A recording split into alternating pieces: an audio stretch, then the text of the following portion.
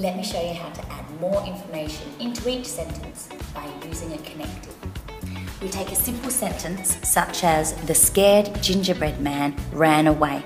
And I would ask the children, why? Why did he run away? And let's try and use the word because. So they could come up with many reasons, and then I would write, the scared gingerbread man ran away because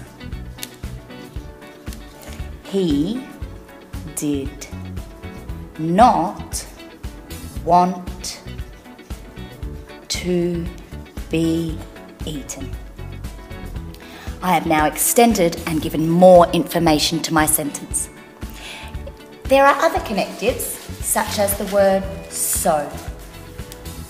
And so I can change that sentence again to the scared gingerbread man ran away, so he did not get put into the oven.